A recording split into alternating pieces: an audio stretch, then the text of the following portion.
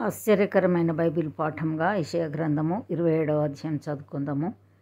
ఆ దినమున యహోవా గట్టిదై గొప్పదై బలమైన తన ఖడ్గం పట్టుకొనును.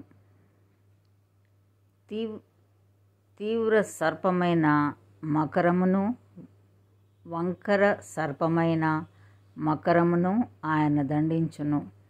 సముద్రం మీదనున్న మకరమును సంహరించును. ఆ దినంన మనోహరమగు ఒక ద్రాక్షవనముండును. దాని గూర్చి పాడుడి. యెహోవాను నేను దానిని కాపు చేయుచున్నాను ప్రతి నిమిషమున నేను దానికి నీరు కట్టుచున్నాను.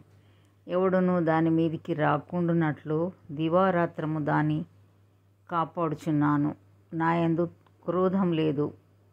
గర్భ గచ్చ పొదలను బలురక్కసి చెట్లును ఒకవేళ నుండిన ఎడల యుద్ధం చేయు వాని వలె నేను వాటిలోనికి వడిగా చొచ్చి తప్పక వాటిని కాల్చివేయుదును.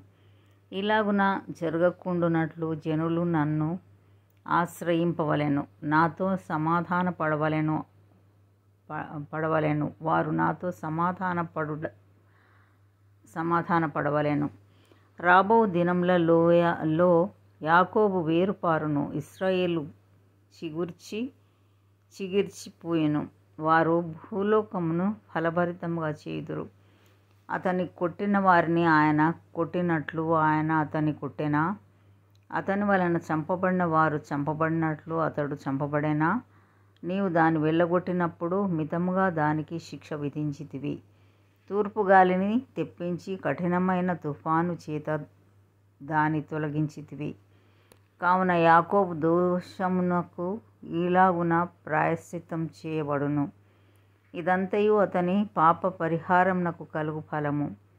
చిన్న భిన్నములుగా చేయబడు సున్నపు రాళ్ళ వలె అతడు బలిపీఠపు రాళ్ళన్నిటినీ కొట్టునప్పుడు దేవతా స్తంభము సూర్య దేవతా ప్రతిమలు ఇకను మరలా లేవవు. ప్రాకారం గల పట్టణము నిర్జనమై అడవి వలె విడువబడును. విసర్జింపబడిన నివాస స్థలముగా నుండును. అక్కడ దూడలు మేసి పండుకొని దాని చెట్ల కొమ్మలను తినును. దాని కొమ్మలు ఎండినవై విరిచివేయబడును. స్త్రీలు వచ్చి వాటిని తగలబెట్టుదురు. వారు బుద్ధిగల జనులు కారు. వారిని సృజించిన వాడు వారి అందు జాలి పడడు.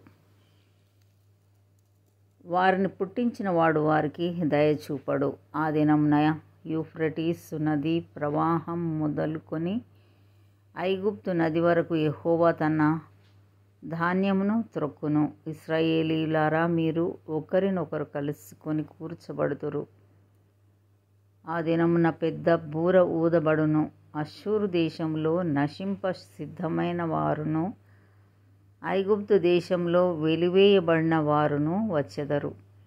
ఎరుషలేములోనున్న పరిశుద్ధ పర్వతమున ఎహోవాకు నమస్కారం చేయుదురు.